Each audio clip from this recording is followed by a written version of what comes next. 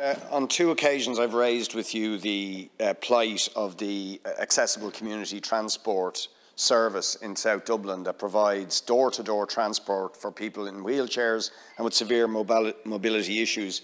You did respond in a letter to me, but to be honest, the letter doesn't offer any comfort uh, in terms of the need for the service to replace their buses. They don't have the buses they now need and 50,000 euro because of their inability to raise funds during COVID. Thank you, Deputy.